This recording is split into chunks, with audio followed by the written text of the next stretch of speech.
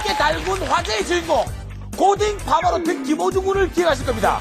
김호중 군이 오늘 이연승에 도전합니다. 큰 박수가 필요합니다.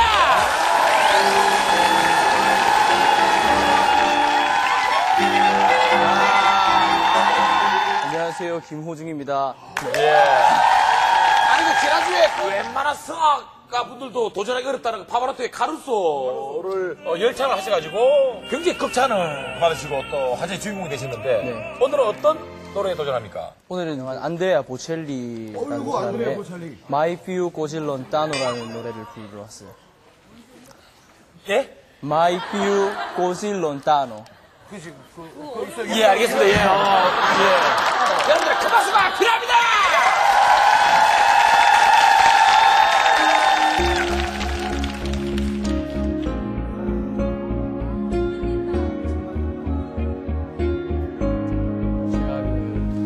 공부를 이게 어렵게 시작했거든요. 친구가 없었었어요. 따돌림을 많이 당했었는데요. 오늘 김호중 군은 이연승에 성공할 수 있을까요?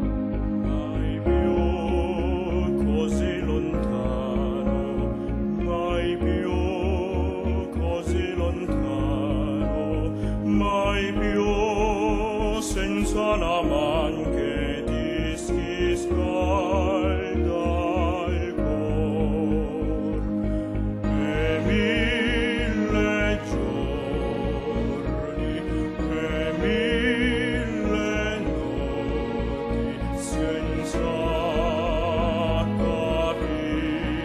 돌아가시기 전에 유언이 이제 누구한테도 주먹도 쓰지 말고 절대 괴롭히지 말라고 다 너한테 돌아가게 된다고.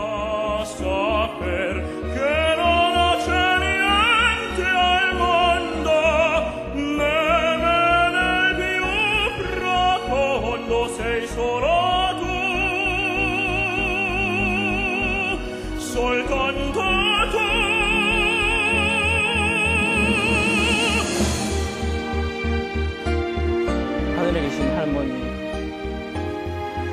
좋은 선생님 만나서 잘하고 있으니까 하늘에서 지켜봐 주세요.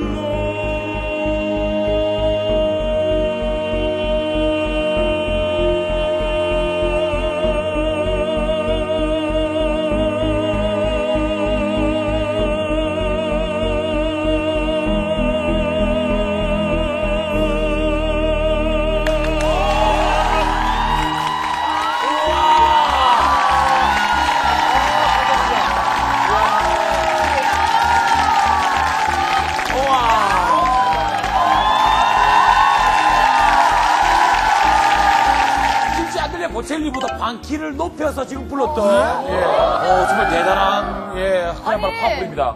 아, 이제 소름 돋는 거 이거 어떻게 좀 해봐봐요.